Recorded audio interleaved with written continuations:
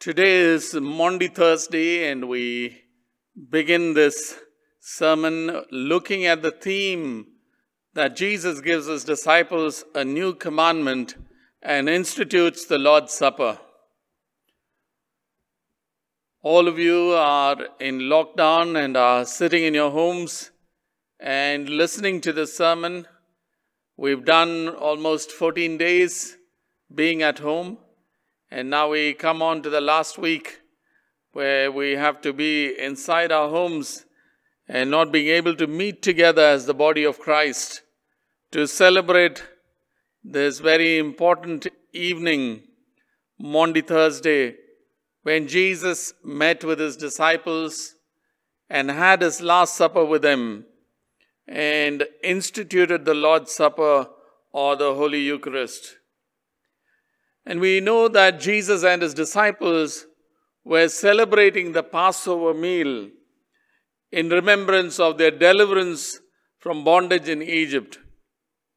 And so, you know, the people remembered, sort of really lived out their experience in Egypt when they were asked to slaughter a lamb and they were asked to put the blood of the lamb on the doorpost so that when the angel of death passed over, they would leave all the Israelite firstborn alive. And therefore, we see that it is the Passover meal that they are celebrating.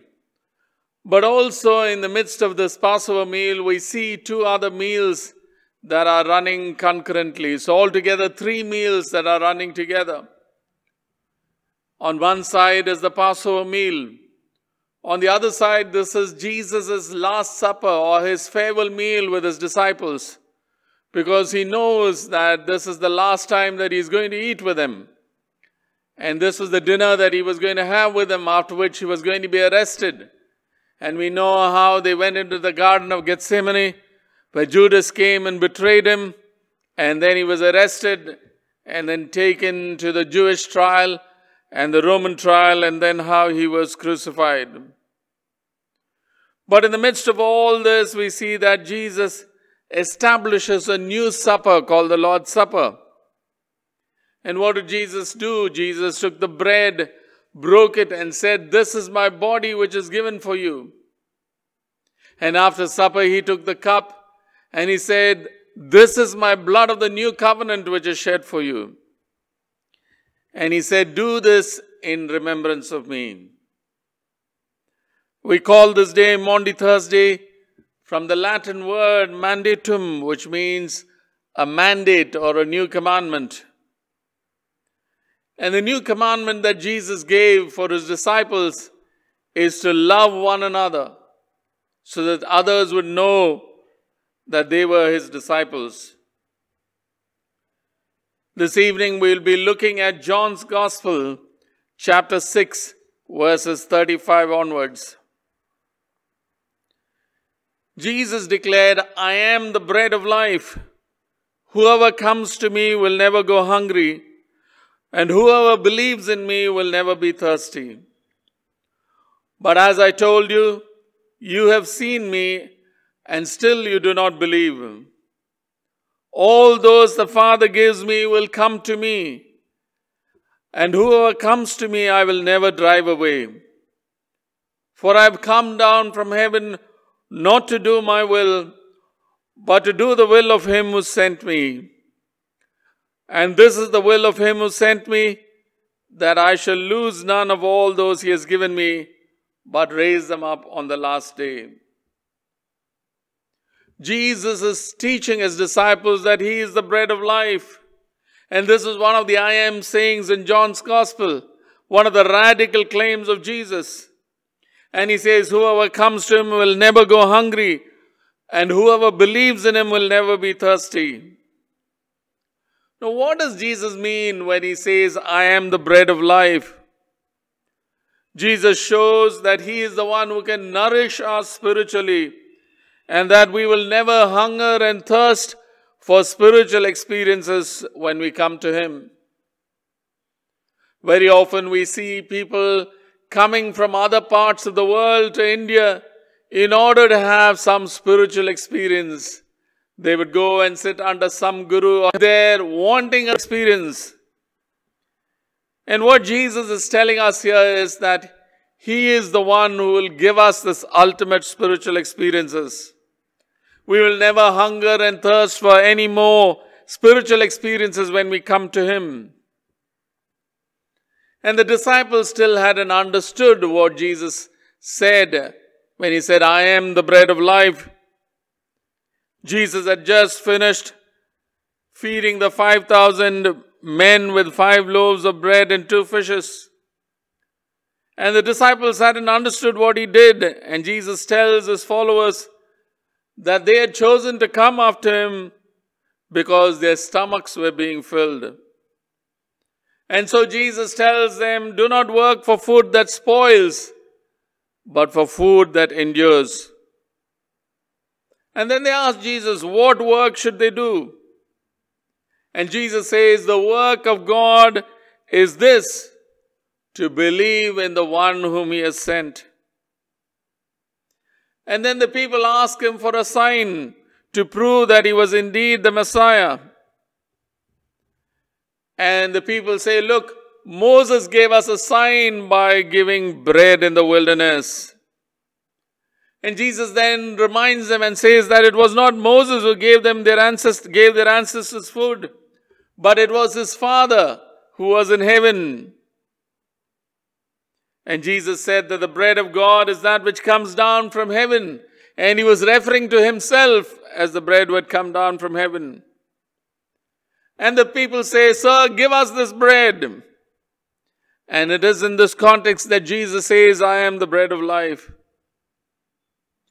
In the Passover meal which Jesus was having with his disciples, he reminds them that this is the last meal or the last supper that he would be having with his disciples. And in the midst of that, he has instituted the Lord's Supper. He tells them, This is my body which is broken for you, just before going to the cross. Taking the cup, he institutes the cup and he says, this is the blood of the new covenant, which is shed for you and for many for the forgiveness of sins. And so we see Jesus offering himself as the Passover lamb. Just like the blood of the lamb was smeared on the doorposts in the Old Testament and the angel of death passed over, the blood of Jesus, the lamb, offers us this forgiveness. Jesus interposes himself to redeem his people from their bondage to sin, just as the Passover lamb was interposed to redeem the people of Israel from slavery in Egypt. Jesus tells them that in spite of the people seeing him do all the mighty miracles to heal the sick and raise the dead, they still were not ready to believe and were asking for a sign. Jesus tells them that the Father will give to him, who will come to him, and he will not drive any, any of them away. And he says, I have come not to do my will, but to do the will of him who sent me. And this is the will of the one who sent me, that I should lose none of those he has given me, but raise them up at the last day. And so, the very purpose of Jesus giving us this Last Supper, the Lord's Supper, the Holy Eucharist, is to remind us that this is for our forgiveness. This is my body given for you. Do this in remembrance of me. And bread is symbol of food, symbol of sustenance, symbol of spiritual food. Bread is also a symbol of God's gift. And so Christ himself blesses God for the bread. And he says, which is given for you, a prophetic utterance about his imminent death. And Jesus himself speaks in sacrificial forms. He is the true Passover lamb, offered once and for all for all the sins of the whole world. And further on in verse 47 of John 6, he says, Very truly I tell you, the one who believes has eternal life. I am the bread of life. Your ancestors ate the manna in the wilderness, yet they died. But the, here is the bread that comes down from heaven, which anyone may eat and not die. I am the living bread that came down from heaven. Whoever eats this bread will live forever. This bread is my flesh, which I will give for the world. It's quite clear that the words of institution uses clear sacrificial language. Jesus institutes the Lord's Supper as he took the bread and the cup and gave it to them, saying, Eat and drink all of you. This is my body which is given for you. This is my blood of the new covenant which is shed for you and for many for the forgiveness of sins. John 6:47 reminds us that the way to eternal life is to believe in him.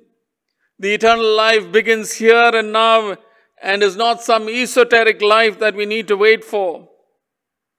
Jesus gives us life abundant here and life eternal in the world to come.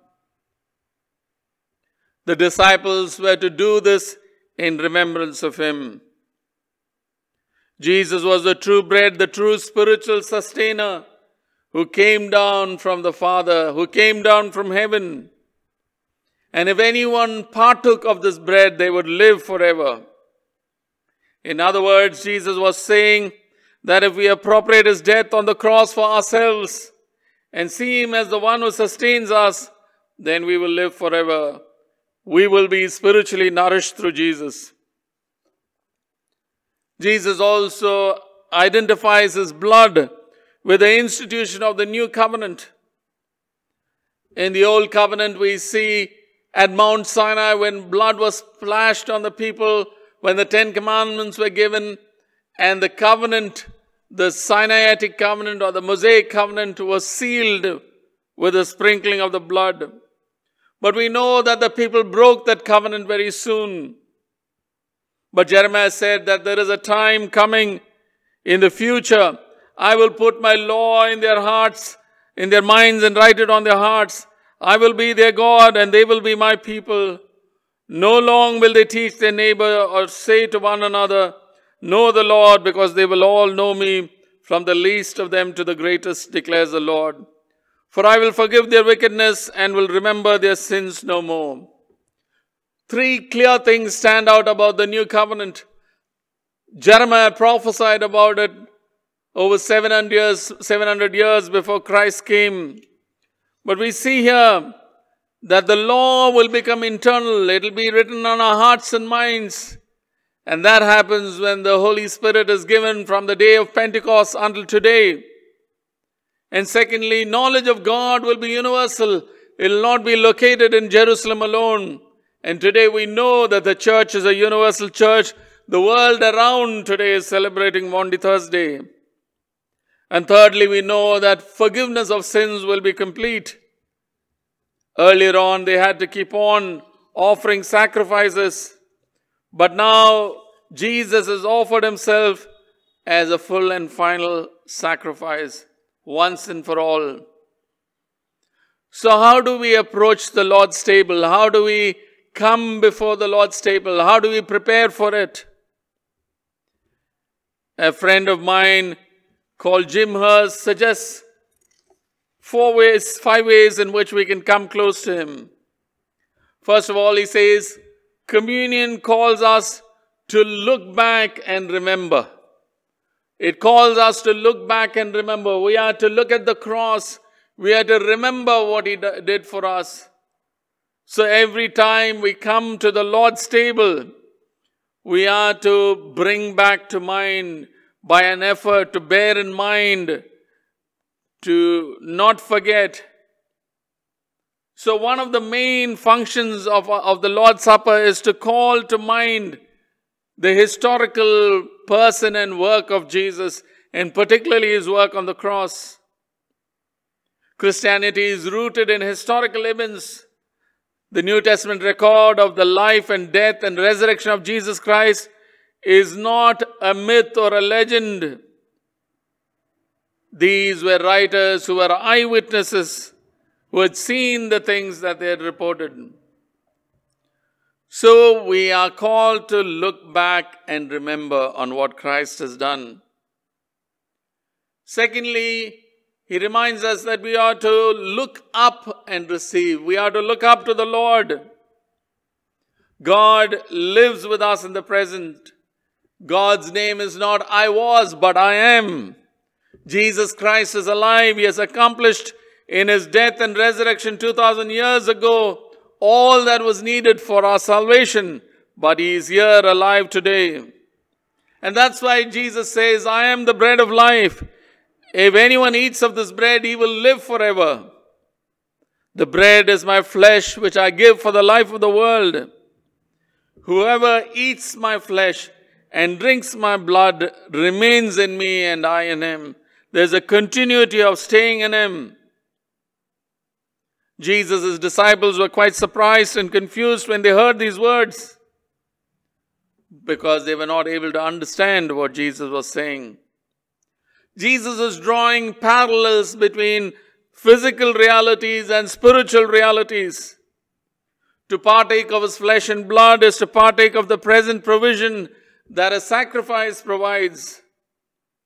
Just as one must continuously take physical food in order to be nourished, we are to continually receive the Lord's Supper so that we may spiritually be nourished.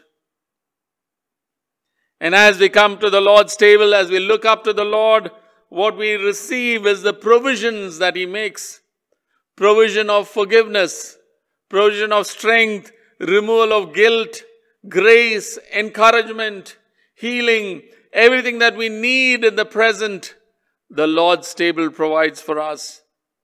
So therefore we are to look up to God and to receive. First of all, look back and remember. Then we are to look up and to receive. Thirdly, we are to look within ourselves. We are to introspect. We are to reflect. Paul says in 1 Corinthians 11 28 that a person ought to examine themselves before they come to eat the bread or drink the cup. And therefore, we need to see, introspect our own lives, see where we've fallen short of God's standards, and ask Him for strength in our weaknesses, that His strength would be made perfect. And whenever we come to the communion table, it's a time to pause and reflect upon our own inner condition and remove all those that hinders our relationship with God.